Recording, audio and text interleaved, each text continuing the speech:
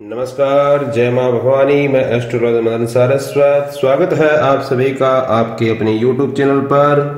आज कथाओं का कर्म आगे बढ़ाते हुए कार्तिक महात्म्य का सत्रवा अध्याय।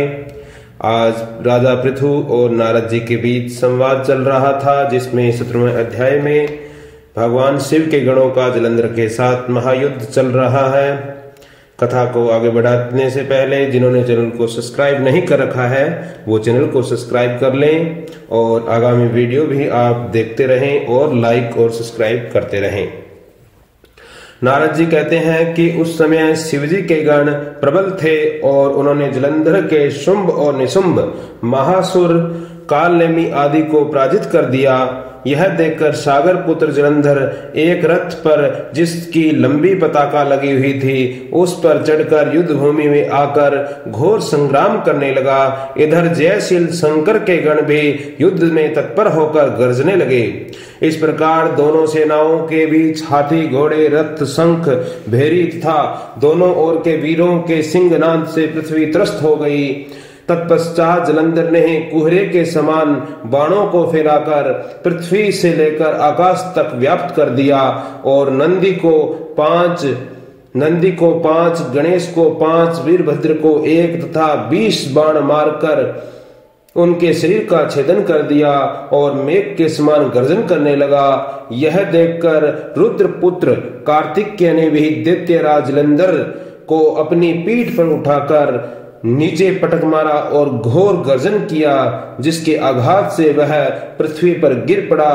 परंतु वह इतना बली था कि शीघ्र ही उठकर खड़ा हो गया और क्रोधाविष्ट होकर कार्तिक के भगवान पर अपनी गदा का प्रहार किया।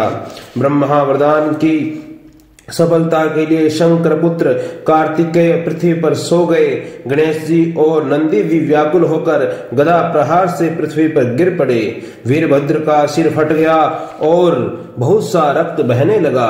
वीरभद्र को पृथ्वी पर गिरा देखकर शंकर के गण चिल्लाते हुए संग्राम भूमि को छोड़कर बड़े वेग से भागने लगे। आगे अठारवा अध्याय देव ऋषि नारद ने कहा कि अब रौद्र रूप रूप महाप्रभु शंकर अपने वीर गणों के साथ नंदी पर चढ़कर हँसते हुए युद्ध भूमि में आ पहुँचे। तब उनको आया देखकर उनके प्राजित गण फिर लौट आए और सिंहनाद करते हुए आयुधों से दैत्यों पर प्रहार करने लगे। भीषण रूपधारी रुद्र को देखकर दैत्य भागने लगे। तब युद्ध में अपने दैत्यों को प्राहन मुख होते देखकर जलंधर हज़ारों बाण छोड़ता हुआ भगवान शंकर की ओर दौड़ा। उसके सुंभ निशुंभ आदि वीर भी क्रोध से अपने होठों को काटते हुए भगवान शंकर की ओर दौड़ने लगे। इतने में भगवान शंकर ने जलंधर के सब बाण जालों को काटकर अपने गणों को निर्भय करके अपने अन्य बाणों की आंधी से दैत्यों को पीड़ित कर दिया। खड़गोरमा नामक दैत्य को अपने फरसे से मार डाला। बलाहक का सिर भी काट दिया धमसर भी मारा गया। शिवगण चिशिका ने प्रचंड नामक दैत्य का सिर काट डाला। किसी को शिव जी के बेल ने मारा और कई उसके बाणों द्वारा मारे गए। यह देखकर जलंधर अपने शुंभ आदि दैत्यों को धिकारने लगा और भयभीतों को धैर्य देने लगा। पर किसी प्रकार भी भयग्रस्त दैत्य दोबारा युद्ध भूमि में आने को तैयार न हुए। दैत्य सेना में पलायन सा हो गया। तब महाक्रुद्ध जलंधर शिव जी को अपनी ओर ललकारने लगा। साथ ही उसने सतर बाण मारकर शिव जी को दग्ध कर दिया तथा और भी बहुत से बाणों का प्रहार किया। इस प्रकार महायुद्ध चलता रहा। शिव जी उसके बाणों को काटते रहे। यहाँ तक कि उन्होंने जलंधर की ध्वजा, छत्र और धनुष आदि भी काट गिराए। फिर सात बाण मारकर उसके शरीर को आघात पहुँचाया। धनुष के कट जाने से जलंधर ने एक प्रचंड बाण मारकर उसकी गधा के टुकड़े टुकड़े कर दिए। तब उसने समझा कि यह मुझसे अधिक बलवान है। अतएव उसने गंधर्वी माया उत्पन्न कर दी। अनेक गंधर्व और अप्सराओं को गण उत्पन्न हो गए और मृदंग आदि बाजों के साथ नृत्य और गान होने लगा। इससे अपने गणों को सहित रुद्र भी मोहित हो गए। उन्होंने युद्ध बंद कर दिया। फिर तो काम मोहित, जलंधर बड़ी शीघ्रता से त्रिनेत्र भगवान शंकर का रूप धारण करके वृषभ पर बैठकर पार्वती के साथ जा पहुँचा। उधर जब पार्वती ने अपने पति को आते देखा तो अनेक सखियों का साथ त्याग दिया और आगे आई। पार्वती को देख यह कामाउत्तर जलंधर वीरपत्न हो गया और उसके पतन से वह भी जड़ हो गया। गौरी ने उसे दानव समझा, वह अंतर ध्यान हो, होकर उत्तर की ओर मानस पर चली गई।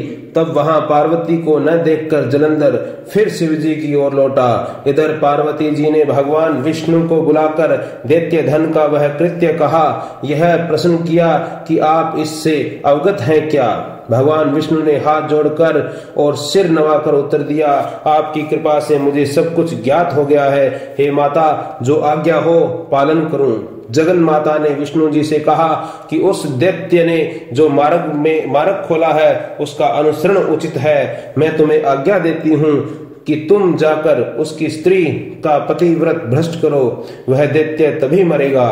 पार्वती जी पार्वती जी, यह आज्ञा पाते ही भगवान विष्णु उसको सिरोधार्य कर छल करने के लिए जलंधर के नगर की ओर गए।